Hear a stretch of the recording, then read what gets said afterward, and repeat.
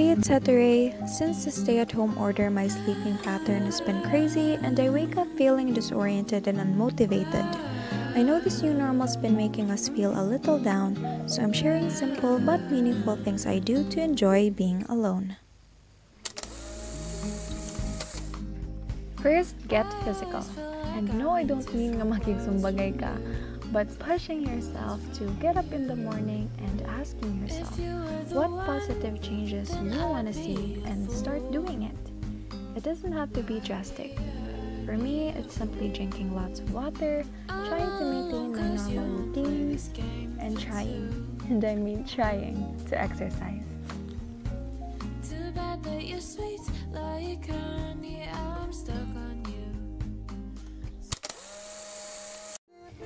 Because of this pandemic, I realized how much I took for granted time spent outside and with people. But it's never too late to give love. Start with those around you your immediate family, pets, or fur babies,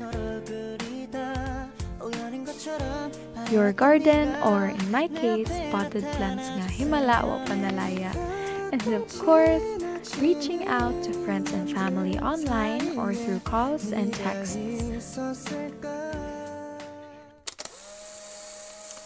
Although being in quarantine means losing physical connection with people, it's also the perfect time to gain more knowledge about yourself.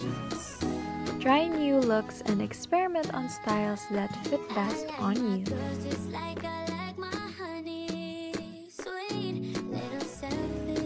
Put your thoughts on paper or challenge yourself creatively through DIYs.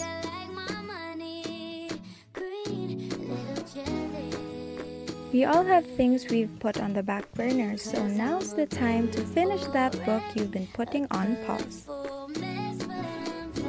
This is also the perfect chance to work on enhancing your talents.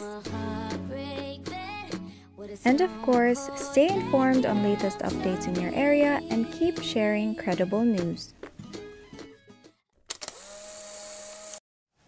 And lastly, go easy on yourself.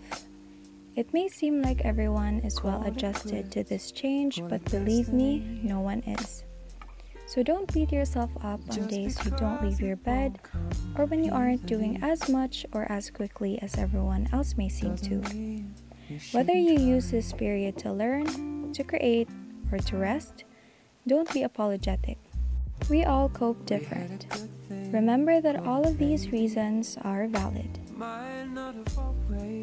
been a fairy tale, but you know, and I know that they ain't real. I'll take the truth over the story. You might have tried my patience lately.